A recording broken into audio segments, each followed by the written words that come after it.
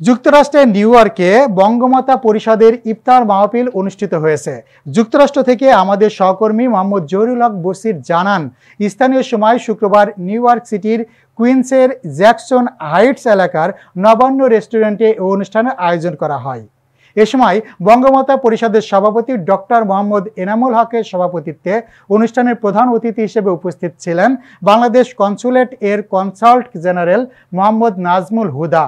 এ সময় অনুষ্ঠানে অন্যান্য সদস্যবৃন্দ ও বঙ্গমতা পরিষদের উপদেষ্টা সরাব সরকার, ডক্টর আব্দুল বাতেন ও মহিউদ্দিন সহ আরও অনেকেই উপস্থিত ছিলেন।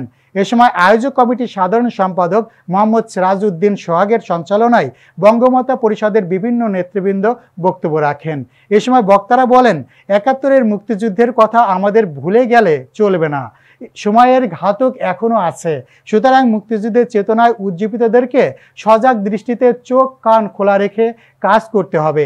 এদিকে প্রধান অতিথি বলেন নিউ ইয়র্কে বাংলাদেশের কনসুলেট অফিসে ই পাসপোর্ট এবং বিভিন্ন সেবা কার্যক্রম অব্যাহত আছে বাংলাদেশি কমিটির জন্য।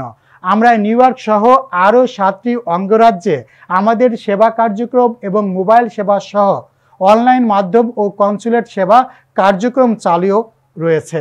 তাদের জিন্দগির সমস্ত গুণা খাতা মাফ করে তাদের মাসুম এবং বেগুনা হিসেবে কবুল করে নেন। আসুন আমরা আজকের এই ইফতার মাহফিল থেকে দোয়া করি। আমাদের প্রিয় মাতৃভূমি বাংলাদেশকে যেন মহান আল্লাহ তালা সকল আপদ, বিপদ, দুর্যোগ, মুসিবত থেকে যেন হেফাজত করেন, রক্ষা করেন এবং আমাদের দেশের যে আজকে উন্নয়নের ধারা আছে সেটি যাতে অব্যাহত থাকে। আপনারা সবাই ভালো থাকবেন। আমরা সবাই পরস্পরের জন্য দোয়া করি। আপনাদের সার্বিক মঙ্গল কামনা করে আমার কথা শেষ করছি।